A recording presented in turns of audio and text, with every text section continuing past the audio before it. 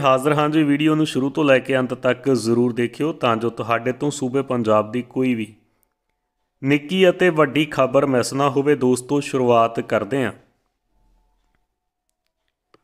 LPG cylinder ਦੀਆਂ ਕੀਮਤਾਂ ਦੇ ਵਿੱਚ ਹੋਇਆ ਵਾਧਾ, ਸੋ ਲੋਕਾਂ ਨੂੰ ਲੱਗਾ ਵੱਡਾ ਝਟਕਾ। ਸੋ ਬਿਗ ਬ੍ਰੇਕਿੰਗ ਨਿਊਜ਼ ਤੋਂ ਸ਼ੁਰੂਆਤ ਕਰ ਰਹੇ ਹਾਂ ਜੀ। ਐਲਪੀਜੀ ਗੈਸ ਦੀਆਂ ਕੀਮਤਾਂ ਦੇ ਵਿੱਚ ਵਾਧਾ ਹੋ ਚੁੱਕਾ ਜੀ। ਹੋਲੀ ਦੇ ਤਿਉਹਾਰ ਤੋਂ ਪਹਿਲਾਂ ਲੋਕਾਂ ਦੀਆਂ ਖੁਸ਼ੀਆਂ। ਫਿੱਕੀਆਂ ਪਈਆਂ ਨੇ। ਦਰ ਅਸਲ ਸਰਕਾਰ ਨੇ ਇੱਕ ਵਾਰ ਫਿਰ ਐਲਪੀਜੀ ਸਿਲੰਡਰ ਦੀਆਂ ਕੀਮਤਾਂ ਨੂੰ ਵਧਾ ਦਿੱਤਾ। ਹੈ ਸੋ ਘਰੇਲੂ ਬਾਜ਼ਾਰ ਦੇ ਵਿੱਚ ਐਲਪੀਜੀ ਸਿਲੰਡਰ ਦੀਆਂ ਕੀਮਤਾਂ ਵਿੱਚ 50 ਰੁਪਏ ਦਾ ਵਾਧਾ ਹੋਇਆ। ਇਸ ਦੇ ਨਾਲ ਸਰਕਾਰੀ ਤੇਲ ਕੰਪਨੀਆਂ ਨੇ ਵੀ ਕਮਰਸ਼ੀਅਲ ਗੈਸ ਸਿਲੰਡਰ ਦੀਆਂ ਕੀਮਤਾਂ ਵਿੱਚ ਵਾਧਾ ਕੀਤਾ ਹੈ। ਪੰਜਾਬ ਸਰਕਾਰ ਦਾ ਅਹਿਮ ਫੈਸਲਾ ਅਗਲੇ ਸੈਸ਼ਨ ਤੋਂ ਆਈਟੀਆਈ ਲਈ ਸ਼ੁਰੂ ਕੀਤੇ ਜਾਣਗੇ 31 ਨਵੇਂ ਕੋਰਸ। ਪੰਜਾਬ ਸਰਕਾਰ ਦੇ ਵੱਲੋਂ ਸੰਚਾਲਿਤ ਉਦਯੋਗਿਕ ਸਿਖਲਾਈ ਕੇਂਦਰ ਆਪਣੇ ਅਕਸ ਨੂੰ ਬਦਲਣ ਦੀ ਪੂਰੀ ਤਿਆਰੀ ਕਰ ਰਹੇ ਨੇ ਵੱਧਦੀ ਉਦਯੋਗਿਕ ਮੰਗ ਨਾਲ ਤਾਲਮੇਲ ਬਣਾਉਣ ਲਈ ਸੂਬਾ ਸਰਕਾਰ ਆਉਣ ਵਾਲੇ ਅਕਾਦਮਿਕ ਸੈਸ਼ਨ 'ਚ ਆਪਣੇ ਚੁਣੇ ਹੋਏ ਵੀ ਆਈ ਟੀਆਈਜ਼ ਦੇ ਵਿੱਚ 31 ਨਵੇਂ ਕੋਰਸ ਸ਼ੁਰੂ ਕਰੇਗੀ ਜਿਨ੍ਹਾਂ ਪੁਰਾਣੇ ਕੋਰਸਾਂ ਦੀ ਮੰਗ ਨਹੀਂ ਉਹਨਾਂ ਨੂੰ ਖਤਮ ਕਰਦੇ ਹੋਏ ਤਕਨੀਕੀ ਸਿੱਖਿਆ ਅਤੇ ਉਦਯੋਗਿਕ ਸਿਖਲਾਈ ਵਿਭਾਗ ਵੱਲੋਂ ਪੰਜਾਬ ਦੇ ਕਾਰੋਬਾਰੀਆਂ ਨਾਲ ਸਲਾਹ مشورہ ਕਰਕੇ ਨਵੇਂ ਕੋਰਸ ਸ਼ੁਰੂ ਕਰਨ ਦਾ ਫੈਸਲਾ ਲਿਆ ਗਿਆ ਹੈ ਇਹਨਾਂ ਵਿੱਚ solar technician multimedia animation informatics ਤੇ ਫਾਈਬਰ ਟੂ ਹੋਮ ਟੈਕਨੀਸ਼ੀਅਨ ਆਦ ਹੋਣਗੇ। ਇਸ ਦੇ ਲਈ 60 ਕਰੋੜ ਰੁਪਏ ਖਰਚ ਕੀਤੇ ਜਾਣਗੇ। ਸੂਬਾ ਸਰਕਾਰ ਨਵੀਂ ਇਲੈਕਟ੍ਰਿਕ ਵਹੀਕਲ ਨੀਤੀ ਲਿਆ ਰਹੀ ਹੈ, ਜਿਸ ਨਾਲ ਇਲੈਕਟ੍ਰਿਕ ਵਾਹਨਾਂ ਤੇ ਸੰਬੰਧਿਤ ਟੈਕਨੀਸ਼ੀਅਨਾਂ ਦੀ ਮੰਗ ਵਧੀ ਹੈ।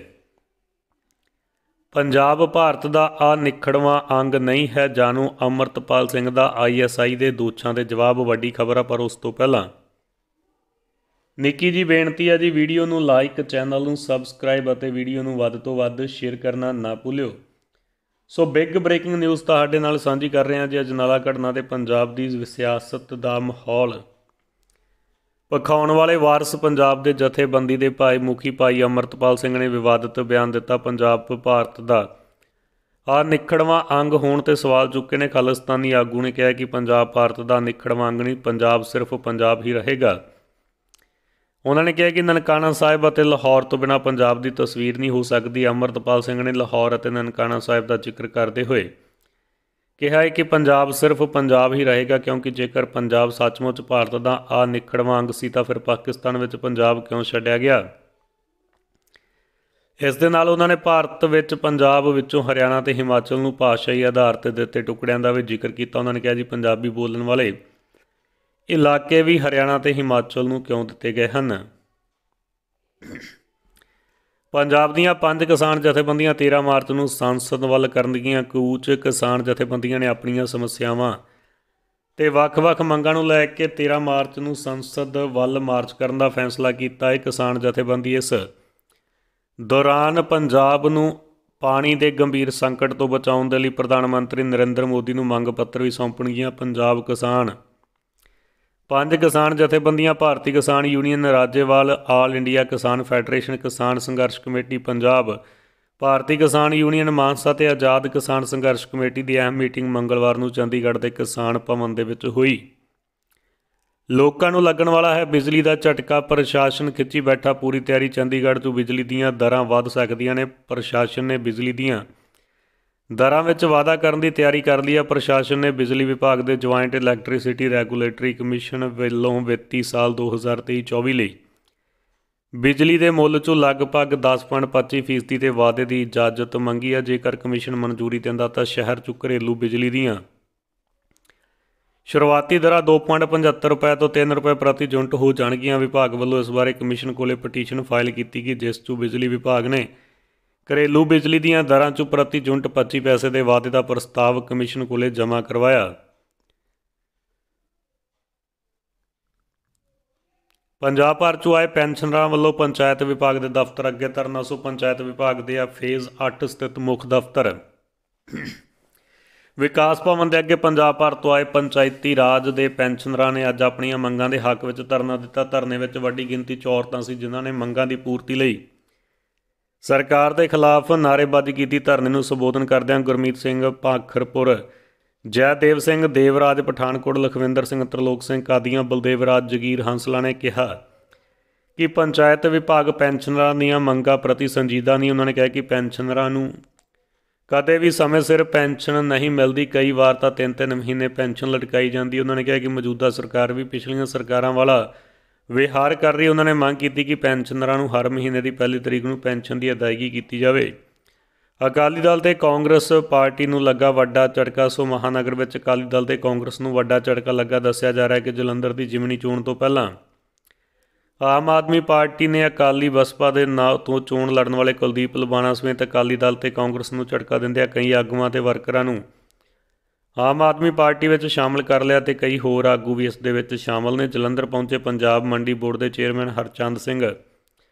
ਬਰਸੱਟ ਵੱਲੋਂ ਵੱਖ-ਵੱਖ ਪਾਰਟੀਆਂ ਦੇ ਆਗੂਆਂ ਤੇ ਵਰਕਰਾਂ ਨੂੰ ਪਾਰਟੀ 'ਚ ਸ਼ਾਮਲ ਕੀਤਾ ਗਿਆ। ਹਰਚੰਦ ਸਿੰਘ ਨੇ ਕਿਹਾ ਕਿ ਆਮ ਆਦਮੀ ਪਾਰਟੀ ਦੀਆਂ ਨੀਤੀਆਂ ਤੋਂ ਪ੍ਰਭਾਵਿਤ ਹੋ ਕੇ ਭਾਜਪਾ, ਅਕਾਲੀ ਦਲ, ਕਾਂਗਰਸ ਅਤੇ ਬਸਪਾ ਦੇ ਕਈ ਆਗੂਆਂ ਤੇ ਵਰਕਰ ਆਪ ਦੇ ਵਿੱਚ ਸ਼ਾਮਲ ਹੋ ਰਹੇ ਹਨ। ਟਵਿੱਟਰ ਦੀਆਂ ਸੇਵਾਵਾਂ 'ਚ ਵੀਗਨ ਯੂਜ਼ਰ ਨੇ ਦਿਖਾਈ ਦਿੱਤੀ ਖਾਲੀ ਸਕਰੀਨ ਨਹੀਂ ਮਿਲ ਰਿਹਾ ਸੀ ਨੋਟੀਫਿਕੇਸ਼ਨ ਇੱਕ ਨਵੀਂ ਰਿਪੋਰਟ ਦੇ ਵਿੱਚ ਖੁਲਾਸਾ ਹੋਇਆ ਕਿ ਮਾਈਕਰੋ ਬਲੌਗਿੰਗ ਪਲੇਟਫਾਰਮ ਟਵਿੱਟਰ ਦੇ ਉਪਭੋਗਤਾ ਨੂੰ ਅੱਜ ਆਊਟੇਜ ਦਾ ਸਾਹਮਣਾ ਕਰਨਾ ਪਿਆ, ਡਾਊਨ ਟਰੈਕਡ ਦੇ ਹਜ਼ਾਰਾਂ ਯੂਜ਼ਰ ਨੇ ਇਸ ਦੀ ਸ਼ਿਕਾਇਤ ਕੀਤੀ, ਦੱਸਦੀ ਹੈ ਕਿ ਇਹ ਵੈਬਸਾਈਟ, ਐਪ ਅਤੇ ਪਲੇਟਫਾਰਮ ਦੀ ਡਾਊਨ ਤੇ ਹੋਈ। ਪੰਜਾਬ ਦੇ ਵਿੱਚ ਸ਼ੁਰੂ ਹੋਵੇਗੀ ਸਰਕਾਰ ਤੁਹਾਡੇ ਦੁਆਰ ਯੋਜਨਾ, ਲੋਕਾਂ ਨੂੰ ਘਰ ਬੈਠਿਆਂ ਮਿਲਣਗੀਆਂ 40 ਸੇਵਾਵਾਂ, ਪੰਜਾਬ ਦੇ ਮੁੱਖ ਮੰਤਰੀ ਭਗਵੰਤ ਮਾਨ ਨੇ ਐਲਾਨ ਕੀਤਾ ਕਿ ਸੂਬਾ ਸਰਕਾਰ ਛੇਤੀ ਹੀ ਸਰਕਾਰ ਤੁਹਾਡੇ ਦੁਆਰ ਪ੍ਰੋਗਰਾਮ ਦੀ ਸ਼ੁਰੂਆਤ ਕਰਨ ਤੇ ਵਿਚਾਰ ਕਰ ਰਹੀ ਹੈ। ਇਸ ਤਹਿਤ ਪੰਜਾਬ ਵਾਸੀਆਂ ਨੂੰ 40 ਨਾਗਰਿਕ ਕੇਂਦਰਿਤ ਸੇਵਾਵਾਂ ਉਹਨਾਂ ਦੇ ਦਰਵਾਜ਼ੇ ਤੇ ਮਿਲਣਗੀਆਂ। ਮੁੱਖ ਮੰਤਰੀ ਨੇ ਕਿਹਾ ਕਿ ਯੋਜਨਾ ਐਪ ਜ਼ਰੀਏ ਆਨਲਾਈਨ ਮੁਹੱਈਆ ਕਰਵਾਈ ਜਾਏਗੀ। ਲੋਕਾਂ ਨੂੰ ਸਿਰਫ ਇੱਕ ਫੋਨ ਕਾਲ ਨਾਲ ਇਸ ਯੋਜਨਾ ਦਾ ਲਾਭ ਮਿਲੇਗਾ। ਮੁੱਖ ਮੰਤਰੀ ਨੇ ਖਾਸ ਤੌਰ ਤੇ ਮੀਡੀਆ ਨੂੰ ਸੱਦਾ ਦਿੱਤਾ ਕਿ ਨੌਜਵਾਨਾਂ ਨੂੰ ਮਜ਼ਬੂਤ ਕਰਕੇ ਸੂਬੇ ਨੂੰ ਅਸਥਿਰ ਕਰਨ ਵਾਲਿਆਂ ਨੂੰ ਮੂੰਹ ਤੋੜਵਾਂ ਜਵਾਬ ਦਿੱਤਾ ਜਾਵੇ। ਮੁੱਖ ਮੰਤਰੀ ਨੇ ਕਿਹਾ ਕਿ ਉਹਨਾਂ ਦੀ ਸਰਕਾਰ ਨੇ ਠੇਕੇ ਤੇ ਕੰਮ ਕਰਦਿਆਂ 14000 ਮੁਲਾਜ਼ਮਾਂ ਦੀਆਂ ਸੇਵਾਵਾਂ ਨੂੰ ਰੈਗੂਲਰ ਕਰ ਦਿੱਤਾ ਹੈ। ਰਾਜਾ ਵੜਿੰਗ ਔਨ ਡੀਜੀਪੀ ਪੰਜਾਬ, ਰਾਜਾ ਵੜਿੰਗ ਨੇ ਡੀਜੀਪੀ ਪੰਜਾਬ ਨੂੰ ਲਿਖਿਆ ਪੱਤਰ, ਭਾਈ ਅਮਰਤਪਾਲ ਸਿੰਘ ਦੇ ਖਿਲਾਫ ਕੀਤੀ ਕਾਰਵਾਈ ਦੀ ਮੰਗ ਅਜਨਾਲਾ ਕਾਂਡ ਵਿੱਚ ਪੰਜਾਬ ਕਾਂਗਰਸ ਪ੍ਰਧਾਨ ਅਮਰਿੰਦਰ ਸਿੰਘ, ਰਾਜਾ ਵੜਿੰਗ ਨੇ ਡੀਜੀਪੀ ਪੰਜਾਬ ਨੂੰ ਇੱਕ ਪੱਤਰ ਲਿਖਿਆ। ਇਸ ਪੱਤਰ ਰਾਹੀਂ ਵੜਿੰਗ ਨੇ ਅਜਨਾਲਾ ਵਿਖੇ ਹੋਈ ਵਾਰਦਾਤ ਦੇ ਦੋਸ਼ੀਆਂ ਖਿਲਾਫ ਕਾਰਵਾਈ ਦੀ ਮੰਗ ਕੀਤੀ ਹੈ। ਟਵੀਟ ਰਾਹੀਂ ਸਰਕਾਰ ਨੂੰ ਪਾਈ ਝਾੜ, ਰਾਜਾ ਵੜਿੰਗ ਨੇ ਇੱਕ ਟਵੀਟ ਦੇ ਰਾਹੀਂ ਟਵੀਟ ਕਰਦਿਆਂ ਜਨਾਲਾ ਥਾਣੇ ਬਾਹਰ ਜੋ ਘਟਨਾ ਹੋਈ ਨਿੰਦਨਯੋਗ ਹੈ, ਸਰਕਾਰ ਨੇ ਸਾਡੇ ਜਵਾਨਾਂ ਨੂੰ ਲਾਚਾਰ ਬਣਾ ਦਿੱਤਾ। ਪ੍ਰਸ਼ਾਸਨ ਨੂੰ ਫੌਰੀ ਕਾਰਵਾਈ ਕਰਦਿਆਂ ਜਨਾਲਾ ਕਾਂਡ ਦੇ ਦੋਸ਼ੀਆਂ ਖਿਲਾਫ ਸਖਤ ਕਾਰਵਾਈ ਕਰਨੀ ਚਾਹੀਦੀ ਹੈ। ਪਹਿਲਾਂ ਵੀ ਅਜਨਾਲਾ ਕਾਂਡ ਤੇ ਘੇਰੀ ਸੀ ਸਰਕਾਰ। ਅਜਨਾਲਾ ਕਾਂਡ ਨੂੰ ਲੈ ਕੇ ਪਹਿਲਾਂ ਵੀ ਰਾਜਾ ਵੜਿੰਗ ਵੱਲੋਂ ਅਮਰਤਪਾਲ ਸਿੰਘ ਦੇ ਖਿਲਾਫ ਤੇ ਸਰਕਾਰ ਦੇ ਖਿਲਾਫ ਬਿਆਨ ਜਾਰੀ ਕੀਤਾ ਗਿਆ ਹੈ। ਪੰਜਾਬ ਦੇ ਵਿੱਚ 12 ਮਾਰਚ ਨੂੰ ਬੰਦ ਰਹਿਣਗੇ ਬੈਂਕ, ਸੋ ਪੂਰੀਆਂ ਛੁੱਟੀਆਂ ਦਾ ਵੀਰਵਾ ਚੈਨਲ ਤੇ ਪਾਈ ਸ਼ਾਰਟ ਵੀਡੀਓ ਵਿੱਚ ਤੁਸੀਂ ਚੈੱਕ ਕਰ ਸਕਦੇ ਹੋ। ਮਾਰਚ ਮਹੀਨੇ ਦੇ ਵਿੱਚ ਪੂਰੇ 12 ਦਿਨ ਬੈਂਕ ਬੰਦ ਰਹਿਣਗੇ। ਦਰਅਸਲ ਮਾਰਚ 'ਚ ਹੋਲੀ ਸਮੇਤ ਕਈ ਤਿਉਹਾਰ ਆ ਰਹੇ ਨੇ ਇਸ ਤੋਂ ਇਲਾਵਾ ਐਤਵਾਰ ਨੂੰ ਦੂਜੇ, ਚੌਥੇ ਸ਼ਨੀਵਾਰ ਕੁੱਲ 6 ਹਫ਼ਤਾਵਾਰੀ ਛੁੱਟੀਆਂ ਵੀ ਸ਼ਾਮਲ ਨੇ। ਅਸੀਂ ਤੁਹਾਨੂੰ ਮਾਰਚ 'ਚ ਬੈਂਕ ਛੁੱਟੀਆਂ ਬਾਰੇ ਪੂਰੀ ਜਾਣਕਾਰੀ ਦੇ ਰਹੇ ਹਾਂ। ਵੁਹਾਨ ਦੀ ਲੈਬ 'ਚ ਹੀ ਬਣਿਆ ਸੀ ਕਰੋਨਾ ਵਾਇਰਸ। ਐਫਬੀਆਈ ਮੁਖੀ ਨੇ ਕੀਤੀ ਪੁਸ਼ਟੀ। ਸੋ ਕਰਨਾਟਕ ਤੋਂ ਬੀਜੇਪੀ ਵਿਧਾਇਕ ਬਾਸਨ ਗੌੜਾ ਪਾਟਲ ਯਤਲਾਲ ਦਾ ਵਿਵਾਦਤ ਬਿਆਨ। ਸੋ ਚੜ੍ਹਦੇ ਮਹੀਨੇ ਹੀ ਵਧਿਆ ਗੈਸ ਸਿਲੰਡਰ ਦਾ ਭਾਅ। ਸੋ ਵੱਡੀ ਖਬਰ ਨਿਕਲ ਕੇ ਸਾਹਮਣੇ ਆ ਰਹੀ ਹੈ ਜੀ। ਇਸ ਦੇ ਬਾਰੇ ਫੈਡਰਲ ਬਿਊਰੋ ਆਫ ਇਨਵੈਸਟੀਗੇਸ਼ਨ ਦੇ ਨਿਰਦੇਸ਼ਕ ਕਿਸਟ੍ਰੋਫਰ ਨੇ ਬੁੱਧਵਾਰ ਨੂੰ ਪੁਸ਼ਟੀ ਕੀਤੀ। ਕੋਵਿਡ-19 ਮਹਾਮਾਰੀ ਦੇ ਚੀਨ ਦੇ ਵੁਹਾਨ ਵਿੱਚ ਇੱਕ ਪ੍ਰਯੋਗਸ਼ਾਲਾ ਘਟਨਾ ਤੋਂ ਉਤਪੰਨ ਹੋਇਆ ਹੈ।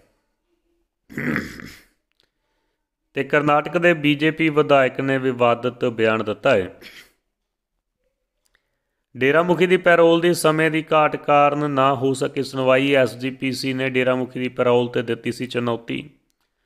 ਸ਼੍ਰੋਮਣੀ ਗੁਰਦੁਆਰਾ ਪ੍ਰਬੰਧਕ ਕਮੇਟੀ ਵੱਲੋਂ ਡੇਰਾ ਸੌਦਾ ਮੁਖੀ ਗੁਰਮੀਤ ਰਾਮ ਰਹੀਮ ਨੂੰ ਦਿੱਤੀ ਗਈ ਪੈਰੋਲ ਨੂੰ ਚੁਣੌਤੀ ਦੇਣ ਵਾਲੀ ਪਟੀਸ਼ਨ ਤੇ ਹਾਈ ਕੋਰਟ ਨੇ ਸੁਣਵਾਈ ਟਾਲ ਦਿੱਤੀ। ਹੈ ਸਮੇਂ ਦੀ ਕਮੀ ਕਾਰਨ ਬੈਂਚ ਨੇ ਇਸ ਮਾਮਲੇ ਦੀ ਸੁਣਵਾਈ ਨਹੀਂ ਕਰ ਸਕੀ। ਸੁਣਵਾਈ ਅੱਗੇ ਪਾਉਂਦਿਆਂ ਹਾਈ ਕੋਰਟ ਦੇ ਜਸਟਿਸ ਏਜੀ ਮਸੀਹ ਤੇ ਜਸਟਿਸ ਵਿਕਰਮ ਅਗਰਵਾਲ ਨੇ ਸਾਫ਼ ਕੀਤਾ ਕਿ ਭਾਵੇਂ 2 ਦਿਨਾਂ ਬਾਅਦ ਗੁਰਮੀਤ ਦੀ ਪੈਰੋਲ ਖਤਮ ਹੋ ਰਹੀ ਹੈ ਪਰ ਇਸ ਮਾਮਲੇ ਵਿੱਚ ਅਦਾਲਤ ਨੂੰ ਆਪਣਾ ਫੈਸਲਾ ਜ਼ਰੂਰ ਦਵੇਗੀ ਇਸ ਮਾਮਲੇ 'ਚ ਹਰਿਆਣਾ ਸਰਕਾਰ ਨੇ ਹਾਈ ਕੋਰਟ ਵਿੱਚ ਜਵਾਬ ਦਾਇਰ ਕਰਕੇ ਕਿਹਾ ਕਿ ਰੋਹਤਕ ਦੇ ਕਮਿਸ਼ਨਰ ਨੇ ਪੈਰੋਲ ਦਾ ਫੈਸਲਾ ਨਿਯਮਾਂ ਦੇ ਅਨੁਸਾਰ ਲਿਆ ਹੈ ਪੰਜਾਬ ਵੈਦਰ ਅਪਡੇਟ ਤੁਹਾਡੇ ਨਾਲ ਸਾਂਝਾ ਕਰ ਰਹੇ ਹਾਂ ਜੀ। ਪੰਜਾਬ 'ਚ ਬਦਲਿਆ ਮੌਸਮ ਦਾ ਮਜ਼ਾਜ, ਕਈ ਥਾਵਾਂ ਤੇ ਹੋਈ ਬੂੰਦਾਬਾਣੀ, ਸੁੱਤਾ ਜਾਂ ਮੌਸਮ ਦਾ ਹਾਲ ਤੁਹਾਡੇ ਨਾਲ ਕਰਦੇ ਹਾਂ ਸਾਂਝਾ।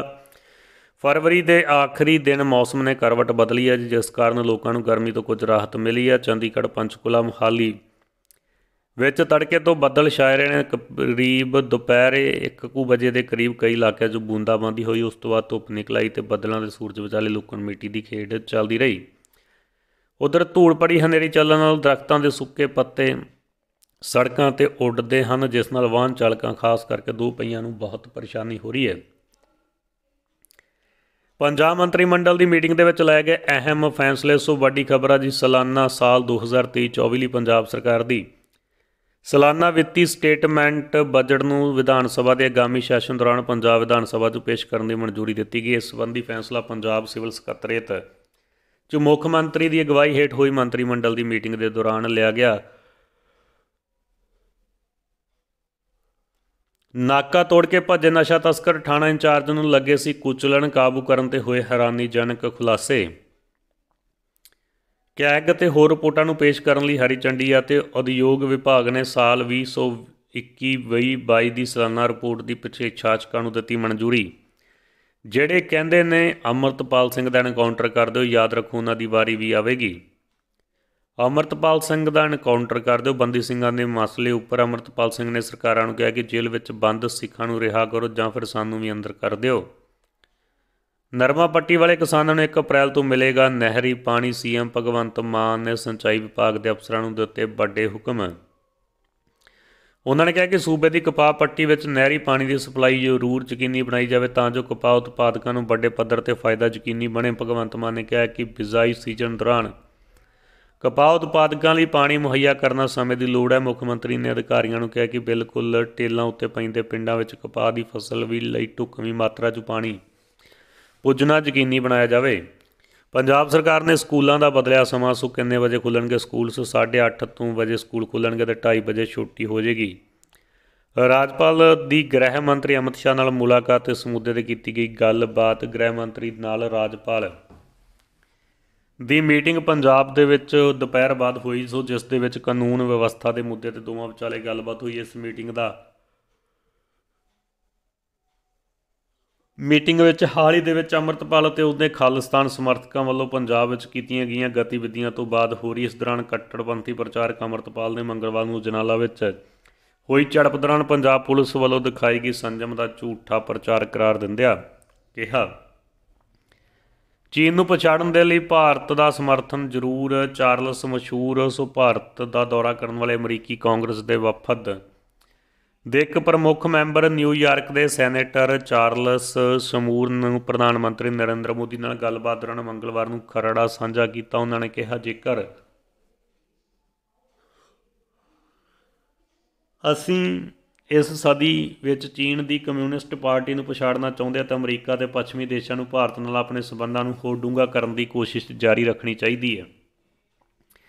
ਜਲੰਧਰ ਵਾਸੀਆਂ ਦੇ ਲਈ ਅਹਿਮ ਖਬਰ ਆ ਜੀ ਪੰਜਾਬ ਦੇ ਵਿੱਚ ਸਰਕਾਰ ਨੇ ਲਿਆ ਵੱਡਾ ਫੈਸਲਾ। ਮੁੱਖ ਮੰਤਰੀ ਪੰਜਾਬ ਭਗਵੰਤ ਮਾਨ ਦੀ ਅਗਵਾਈ ਵਾਲੀ ਪੰਜਾਬ ਸਰਕਾਰ ਨੇ ਸੂਬੇ ਦੇ ਲੋਕਾਂ ਨੂੰ ਬੁਨਿਆਦੀ ਸਹੂਲਤਾਂ ਸਾਫ਼ ਸੁਥਰਾ ਪ੍ਰਦੂਸ਼ਣ ਰਹਿਤ ਵਾਤਾਵਰਣ ਮੁਹੱਈਆ ਕਰਵਾਉਣ ਦੇ ਲਈ ਲਗਾਤਾਰ ਯਤਨਸ਼ੀਲ ਅਤੇ ਵਿਚਾਰਾਂ ਦਾ ਪ੍ਰਗਟਾਵਾ ਕਰਦਿਆਂ ਸਥਾਨਕ ਸਰਕਾਰਾਂ ਬਾਰੇ ਮੰਤਰੀ ਡਾਕਟਰ ਨਿੰਦਰਵੀਰ ਸਿੰਘ ਨਿੱਜਰ ਨੇ ਕਿਹਾ ਕਿ ਇਸ ਦਿਸ਼ਾ ਵਿੱਚ ਇੱਕ ਹੋਰ ਕਦਮ ਚੁੱਕਦਿਆਂ ਪੰਜਾਬ ਸਰਕਾਰ ਵੱਲੋਂ ਜਲੰਧਰ ਵਿੱਚ ਜਲ ਸਪਲਾਈ ਪ੍ਰਣਾਲੀ ਨੂੰ ਸੁਧਾਰਨ ਤੇ ਸਾਫ਼ ਸੁਥਰਾ ਵਾਤਾਵਰਣ ਮੁਹੱਈਆ ਕਰਾਉਣ ਦੇ ਲਈ ਤਕਰੀਬਨ 8.5 ਕਰੋੜ ਰੁਪਏ ਖਰਚਣ ਦਾ ਫੈਸਲਾ ਕੀਤਾ ਗਿਆ ਹੈ। ਮਨੀਸ਼ ਸਸੋਦੀਆ ਦੀ ਗ੍ਰਿਫਤਾਰੀ ਤੋਂ ਬਾਅਦ ਭੰਬਲਪੂਸੇ ਚ ਪੰਜਾਬ ਸਰਕਾਰ ਵਾਪਸ ਲਿਆ ਨਵੀਂ ਸ਼ਰਾਬ ਨੀਤੀ ਦਾ ਆਨਲਾਈਨ ਫਾਰਮ ਸੋਏ ਵੀ ਵੱਡੀ ਖਬਰ ਨਿਕਲ ਕੇ ਸਾਹਮਣੇ ਆ ਰਹੀ ਹੈ। ਵਿਰੋਧੀ ਧਿਰਾਂ ਵੱਲੋਂ ਕੀਤਾ ਜਾ ਰਿਹਾ ਸੀ ਵਿਰੋਧ, ਸੋ ਵਿਰੋਧੀ ਧਿਰ ਦੇ ਨੇਤਾ ਪ੍ਰਤਾਪ ਸਿੰਘ ਬਾਜਵਾ ਨੇ ਵੀ ਪੰਜਾਬ ਦੀ ਸ਼ਰਾਬ ਨੀਤੀ ਤੋਂ ਈਡੀ ਤੋਂ ਜਾਂਚ ਕਰਵਾਉਣ ਦੀ ਮੰਗ ਕੀਤੀ। ਉਹਨਾਂ ਨੇ ਕਿਹਾ ਕਿ ਪੰਜਾਬ ਦੀ ਆਬਕਾਰੀ ਨੀਤੀ ਵਿੱਚ ਭ੍ਰਸ਼ਟਾਚਾਰ ਹੋਣ ਦੀ ਸੰਭਾਵਨਾ ਹੈ। ਸਰਕਾਰ ਨੇ ਕੁਝ ਸ਼ਰਾਬ ਕੰਪਨੀਆਂ ਅਤੇ ਵਪਾਰੀਆਂ ਨੂੰ ਆਪਣਾ ਬੇਲੋੜਾ ਸਮਰਥਨ ਦਿੱਤਾ ਹੈ। ਕੈਨੇਡਾ ਮਗਰੋਂ ਹੁਣ ਭਾਰਤੀਆਂ ਨੇ ਦੁਬਈ ਵੱਲ ਕੱਤੀਆਂ ਵਹੀਰਾਂ, ਸੋਨੇ ਤੇ ਸੁਹਾਗਾ ਬਣਿਆ 골ਡਨ ਵੀਜ਼ਾ। ਭਾਰਤੀਆਂ ਦਾ ਕੈਨੇਡਾ ਦਾ ਵੀਜ਼ਾ ਸਿਲਸਿਲਾ ਹੁਣ ਦੁਬਈ ਵੱਲ ਸ਼ਿਫਟ ਹੋ ਗਿਆ ਜੀ। ਰਾਈਸ ਭਾਰਤੀ ਦੁਬਈ ਬਕਾਇਦਾ ਮਕਾਨ ਫਲੈਟ ਖਰੀਦ ਰਹੇ ਨੇ। ਇਸ ਦਾ ਟ੍ਰੈਂਡ ਸੇਰਾ 2019 ਦੇ ਵਿੱਚ ਲਾਗੂ ਹੋਇਆ। ਜਦੋਂ ਅਰਬ ਅਮੀਰਾਤ ਨੇ 골ਡਨ ਵੀਜ਼ਾ ਸਕੀਮ ਦਾ ਇਸ ਨੂੰ ਨਾਮ ਦਿੱਤਾ। ਅਗਲੀ ਵੱਡੀ ਖਬਰ ਤੁਹਾਡੇ ਨਾਲ ਸਾਂਝੀ ਕਰ ਰਹੇ ਹਾਂ ਜੀ। ਅੱਜ ਤੋਂ ਐਕਸਿਸ ਬੈਂਕ ਹੋਇਆ ਸਿਟੀ ਬੈਂਕ ਗਾਹਕਾਂ ਦੇ ਲਈ ਬਦਲੇ ਨਿਯਮ, ਸੋ ਇਹ ਸੀ ਦੋਸਤੋ ਸੂਬੇ ਪੰਜਾਬ ਦੀਆਂ। ਆਮ ਅਤੇ ਖਾਸ